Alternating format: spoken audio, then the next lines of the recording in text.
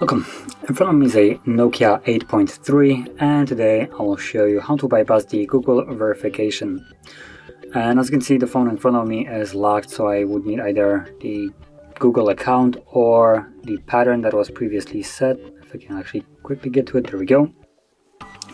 But to bypass this we can simply go back to the first page and start off by changing the language to any kind of other language that has a different keyboard. So basically anything from up here below will work, choose whichever one you want. And again, let's progress through the setup back to the Google verification page.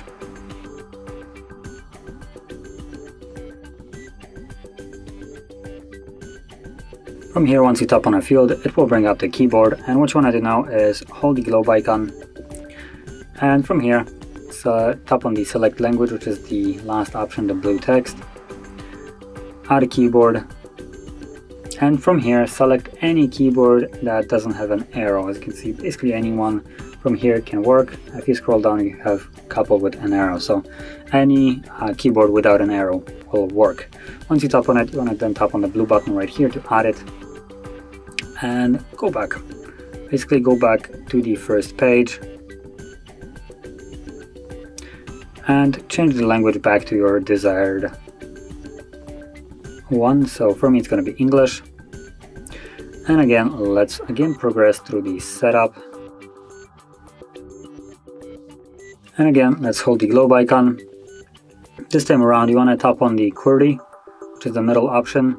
Just so we can change the uh, keyboard and then hold it again and go again to the language settings add a keyboard and this time around scroll down and choose an option with an arrow so as you can see Albanian is one of them stop on it from here, tap on the three dots, go to help and feedback.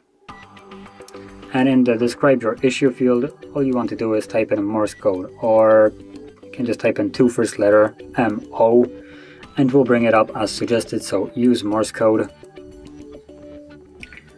From here, tap on the play button. It will load it and from here you will see three dot option has appeared in the corner.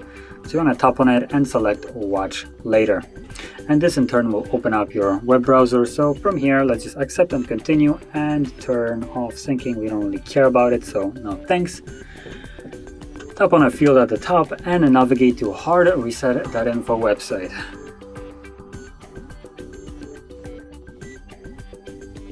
There we go, hardreset.info. Let's go. And from here, you want to tap on the three bars right up here go to the download category and in the search bar you want to type in Android 7.1.2. I'm gonna just kind of shorten it and write Android 7 point and oops there we go. It is right here the second option. So Android 7.1.2 and also 10 click on the download. Scroll down and here you'll see again the download link.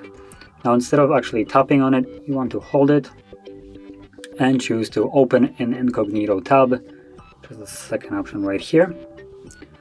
And then OK and let it download it.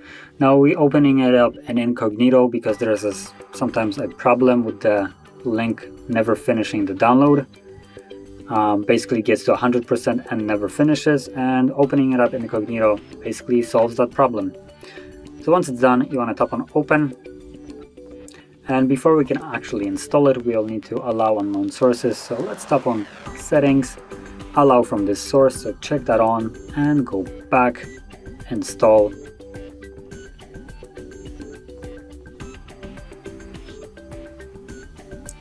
And then open it up.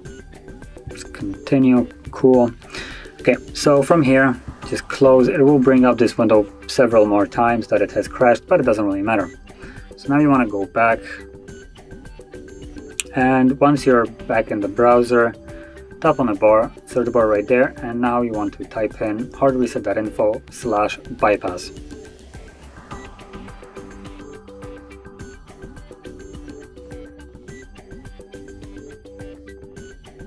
like so if you need a moment to write it down, uh, pause the video. I'm just going to progress further.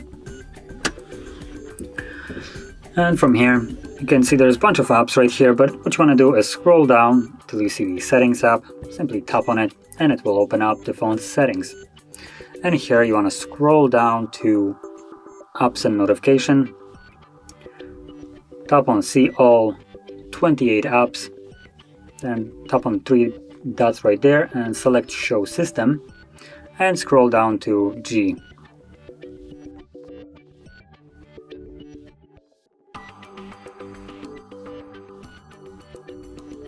Okay, so once you're at the G point uh, of letters, you want to look for Google Play Services and Play Store. They're basically right next to each other.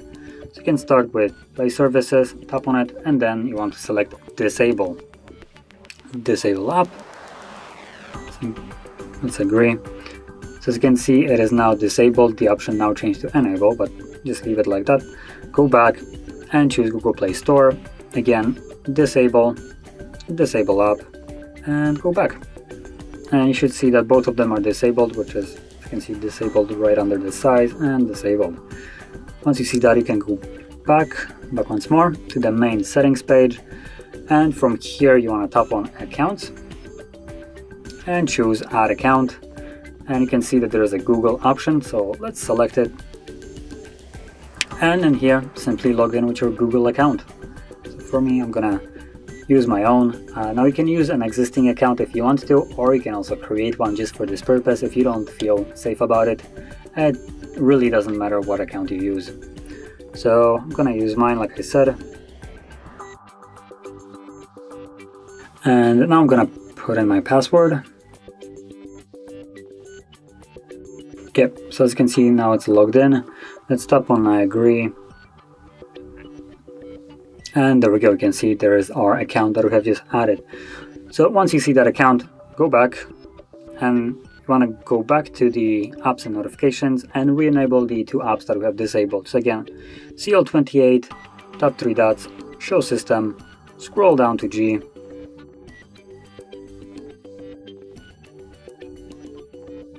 Oops, didn't want to click it. Let's go further. There we go. And you want to re-enable the two apps. So tap on it, enable, go back, tap on the other one, enable, go back. Uh, now again, as you can see, the app keeps crashing, but if you're wondering, it doesn't really matter anymore. Uh, this app that keeps crashing allowed us to add Google account. Without it, uh, the option for Google uh, to actually add the Google account would not have been visible in the accounts list. And uh, that was uh, the purpose of it. So like I said, it doesn't really matter that it's crashing, it has done its purpose and that's good. So once you have enabled the two applications, hold power key and select restart.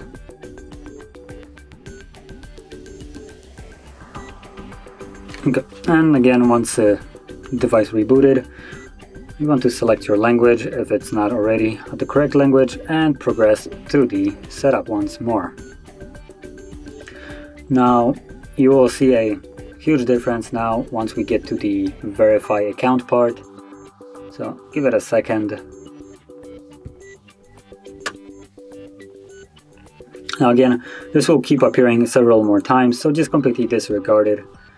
And there it is, so you can see account added, and it is the account that I have added, uh, well, throughout the bypass.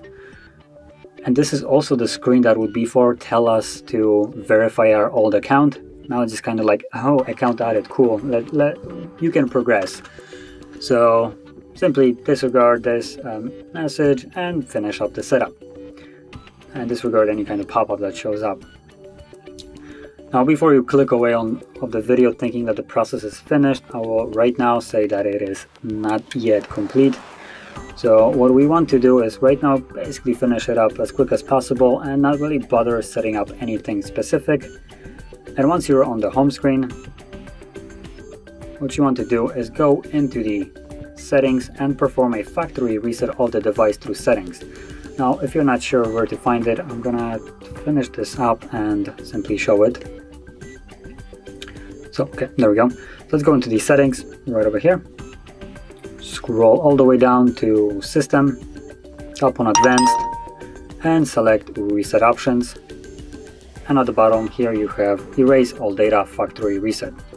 Once you tap on it, it gives you a message that this will remove things like your Google account primarily, and it provides us with the account that we have added to perform the bypass, but it will also remove the account that was previously blocking us, which is not actually listed here.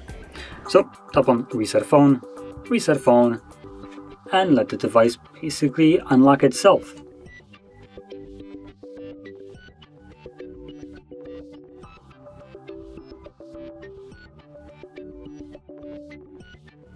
And as you can see, we're back in the setup screen. So from here, again, let's select our language. English, there we go.